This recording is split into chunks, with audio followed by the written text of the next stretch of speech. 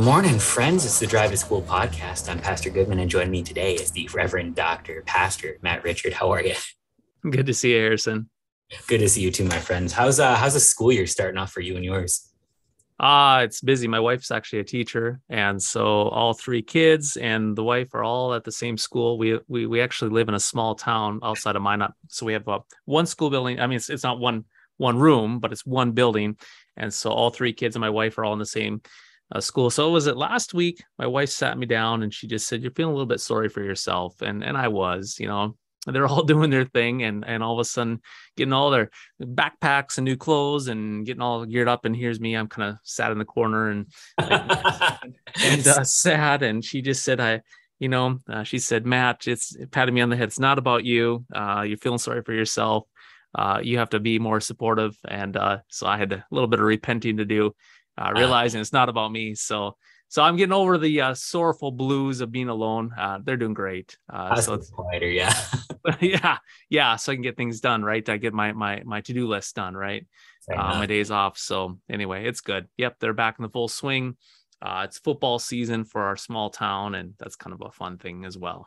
Sure yeah, my kids are actually just going back to uh, to school for the first time. We started homeschooling in the middle of COVID, and so this is your first year. We're sending them back up north in Iowa, um, and so uh, it, has been it's been quiet. They've been having fun, real excited about it, but um, it's it's just it's a different environment. We had them sort of always sort of around for the last two and a half years, and uh, and so yeah. yeah, now we're we're doing kind of the same thing. We're we're knocking out more around the house, and uh, it, it's just sort of it, the, the, excitement was palpable, but I, I, mean, it sort of comes with its own little um, anxiety thing too. And, and maybe it's because it's sort of their first year in a new school. Um, but but there's there's sort of, and we were talking about this before, that the idea that that you know fitting in and, and making sure you're you're you know with um, not just you know good people, but just with people. It, it gets mm-hmm. divisive out there. Yeah. You know, I, I, my talking with my family and my, my kids, and this is something where I, it, it existed way back when I was in high school too. And I can just remember going to get, uh, that real flimsy piece of pizza in the, in the cafeteria and you go through and you have your car and you swipe it uh, with the lunch lady to get to get your uh, ticket to get your meal and then you face and all of a sudden you look at this vast open uh, openness of space and there's all these tables and you just i know for me it was like i was like petrified and where did I go? And I, I used to play hockey and then I quit. So I didn't belong at that hockey table. And I didn't belong with the basketball table. And I didn't grow up on a farm. So I didn't belong with the farming table. And then I wasn't uh, goth. So I didn't belong on that table. So it's like, which table do you go to? And and our society and school has this way of, and it I don't know if it's I don't think it's even intentional, but we form these little cliques, these little groups, and sometimes we can be feel paralyzed. Uh, I know even as adults, but especially as youth, you know, where do I belong? Which group do I belong in? Then you have to spend all this energy trying to get into this group. And then once you're in that group, you have to spend energy to stay in that group and to be accepted. Or then maybe if there's another group that's a little bit better, then you want to try to what escape that one to climb to that one. As a disaster. It's it's it's it's unending and it's exhausting and all the fear and all that junk that goes with it it leaves identity always in question and um, even kind of a little bit worse like you, you you've got this thing where you want a better identity than the one that you have and so you're look, looking to climb up but at the same time what does that mean about the people you're leaving what does that mean about your old identity yeah. for, all of this uh, energy that's poured into to trying to to belong to be knit together to something and have it always sort of in question in the back of your mind there's no security there um, yeah. and so i understand too why like I, they they they had in all the old 80s movies where you know the the, the cliques would sort of get uh, territorial in, a big way. Um, and well, I, guess you know if your identity is in question, the the way to feel secure is to make sure that you at least know what other people aren't. Yeah, yeah. Well, it, it's it's it's unending, it's ruthless, and it can shake you to your core. I mean, really can. And I mean, and this is where you know we come to thinking about what we are talking earlier about about what does Christ's words say to us, and reminded of a passage in uh, Galatians where uh, Paul says, There's no longer Jew nor Greek, uh, there's no longer slave or free, there's no longer male or female, for all of you are one in Christ Jesus. And for um, our youth, uh, the youth of our churches, uh, to understand that their identity is not in Jew nor Greek, slave or free, male or female. It's not in the hockey clique or the basketball clique or the football clique or the farming clique or the computer clique. It's not that group. That group. Our identity is what we're baptized, right? We're marked into Christ. We belong in Christ. Uh, that there's no segmentation in Christ Church. And that um, even to think about too i think you mentioned earlier too we are talking about this it's not as if there's different levels of baptism right? You know so if i'm baptized by this pastor i have a little bit more of a baptism or than this person over here um, or i go to this church and so i have a what a little bit more efficacious baptism than this person who goes to this little tiny church over here.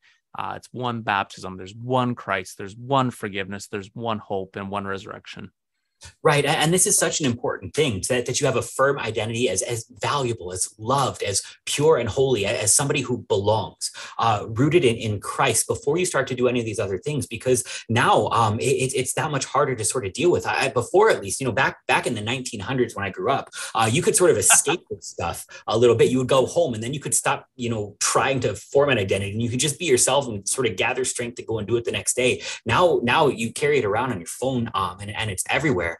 Um, and, and, so the idea that you'd have sort of a sure identity so that you can you can go and be friends, so that you can go and, and exist as somebody who likes hockey or farming or, or whatever else that you do. Uh, but but you don't have to earn a place there anymore because that's that's sort of what Jesus is saying. He's not saying that there's no more gender anymore. He's saying you're not more or less because of it the the the, op, the impetus of it isn't um, male or female, but it's one in Christ Jesus, right?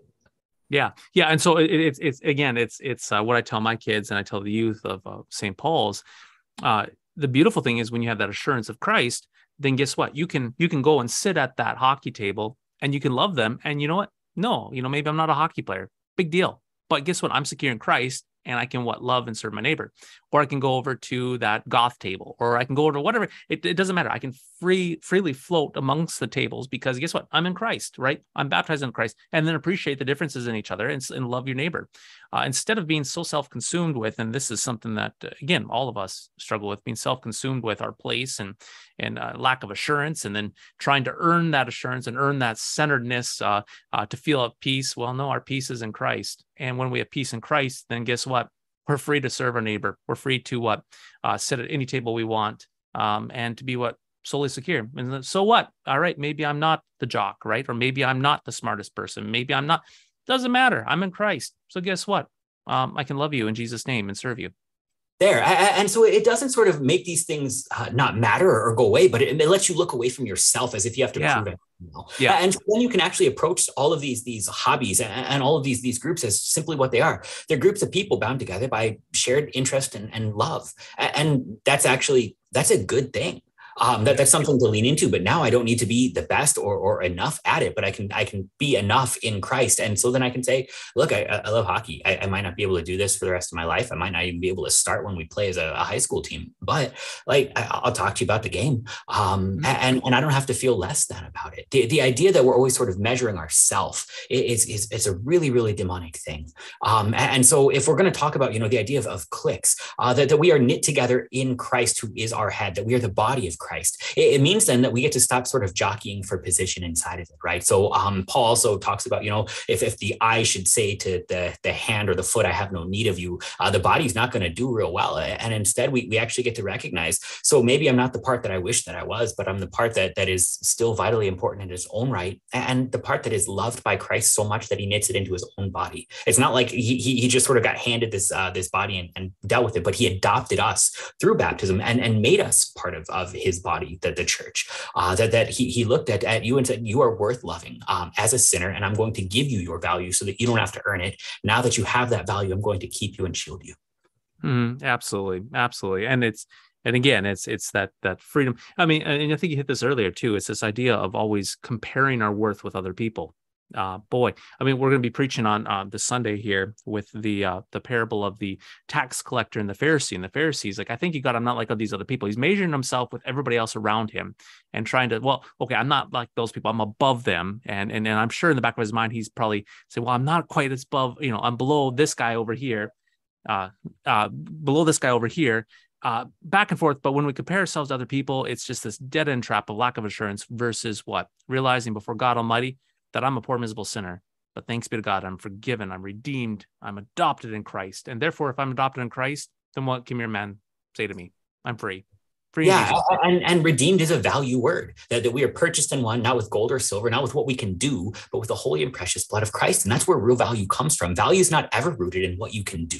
It's only ever rooted in what was paid for you. Like think about it, the, the whole world, anywhere. Why? Where else do we we pay for something only based on what it can do? Um, you, you can go to the shoe store and, and, you can get the Jordans for you know two hundred bucks. Some on the, the, the they pay thousands of dollars for these shoes that don't actually make you any different. Than it's just that people are willing to pay for it. Christ was willing to pay for you in, in his in his death. Like that's that's where we count our value. Yeah, absolutely. Centered. It's it's making the sign of the cross every day, right? I'm baptized. I belong to Jesus. And because I belong to Jesus, what? I can be a servant of all, right? That's Luther says that in the freedom of the Christian, right? That uh, we are free from free from I'm trying to remember exactly how he says we're free from everything, but we're servant of all. Um, yeah. Yeah. It's it's it's beautiful. Yeah. So it's Christ. Christ or go home, right? it's Jesus.